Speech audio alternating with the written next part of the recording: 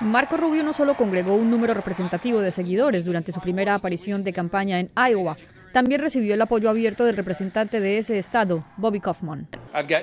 Yo tengo que decir muchas cosas buenas de cada precandidato. Nunca hablaré mal de ninguno de ellos. Pero es un gran honor para mí anunciar esta noche mi apoyo oficial a Marco Rubio para la presidencia.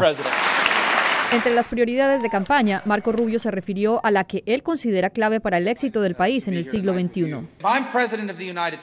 Si soy el presidente de Estados Unidos, tendremos sistemas de impuestos que sean competitivos con el mundo exterior y definidos tanto para los pequeños negocios como para los grandes. Pero otro factor clave, según el proyecto de Rubio, es la reducción del alcance del gobierno federal.